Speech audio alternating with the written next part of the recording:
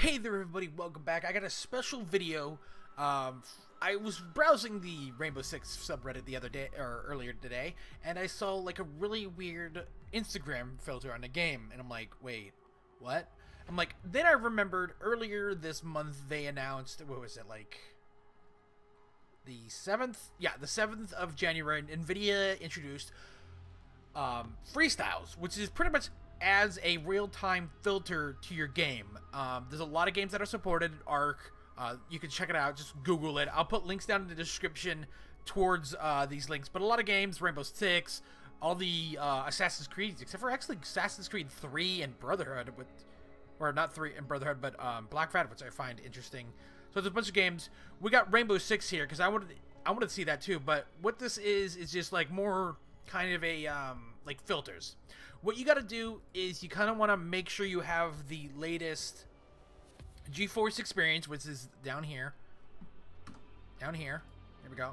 Open this up. There we go. Open this up. Um, oh God, this this program I used to record with this, and it's just so bad.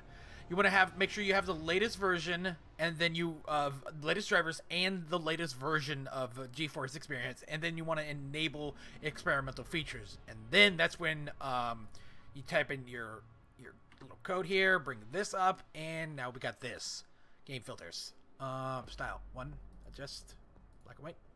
Okay, and there we go. We got black and white. Uh, let's see here. So we got different styles. Let's see here.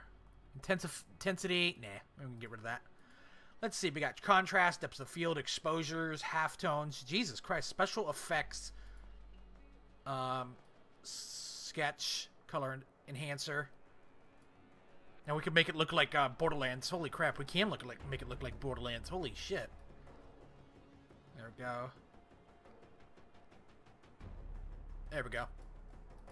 And then there's also a colorblind mode. What the hell? I want to know what depth of field is. That seems really hard to do. Oh. Wait. What? That just blurs the game. Doesn't that just blur the game?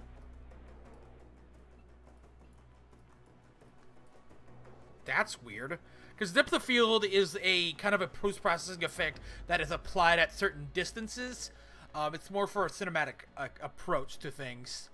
Uh, let's see. Uh, vignette, Sepia, halftone. And we could add like tons of these too. What is what is halftone? Oh, hello, hello. There we go. Uh, colorblind mode. Okay, what is this? Okay, that's cool. That's actually pretty cool. So if if you're colorblind, um, you could just kind of just change the. I guess this. I don't know how really colorblind works. Some games do it completely different. Contrast. Um, adjust. What is adjust? Oh, this is just the vibrancy. Okay, we can just turn that off. Um, let's go a little. Let's add a few. Let's go. Let's see. Let's try depth of field. Let's add a depth of field. A nice depth of field. Um, this, this doesn't seem to be doing anything. None of this seems to be doing... Oh, here we go. No.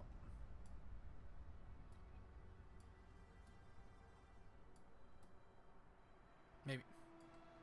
Maybe because they're all presented on a like a flat surface? Oh god, that's gonna ruin my eyes if I look at that too much. Um, let's mood. Mood. We'll add a little tint. Is this this is, oh, tint intensity. There we go. So this would be good if you play at night a lot, um, because it, it, it your eyes are because we look at monitors and they're always kind of giving off a little bit of extra blue. So this could be pretty good for late night gamings, less stress. Okay, let's uh let's actually do something real here. Uh, special effects, yes. Yeah. color enhancer, that vignette. There we go. There we go. And then add a black and white. There we go. Wait, no, we don't need this yet. We don't need the adjuster. There we go. Intensity. There we go. And we could probably turn this down. There we go. Done. Okay, and we just hit that. There we go. And play some ranked. Let's play some... Actually, we're just going to play some Terra's then. Uh, Lone Wolf. Normal. wonder if I have any Shit, I don't even have. I don't know if I have any dailies. But this is like all happening in real time. That's pretty crazy. Mm. Yeah, we'll do. Uh, actually, do. I like Sledge because he can like get through the sh most shit. There we go. And, dude, I'm not kidding. This is kind of ruining me right now.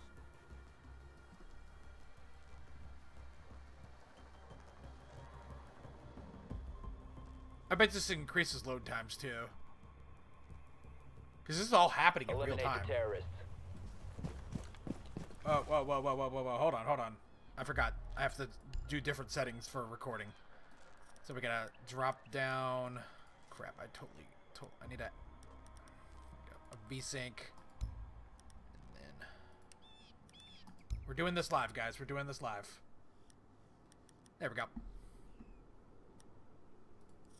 There we go.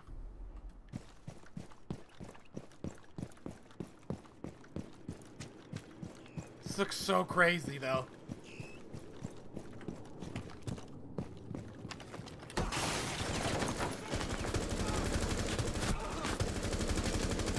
Are you kidding me with that? I was literally dodging this guy's head.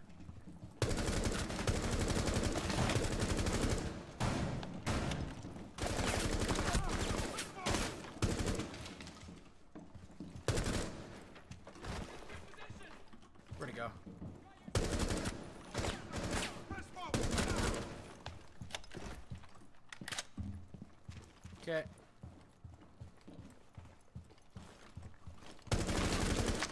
That'd be crazy playing this whole game like this. Uh oh. It's Vader time.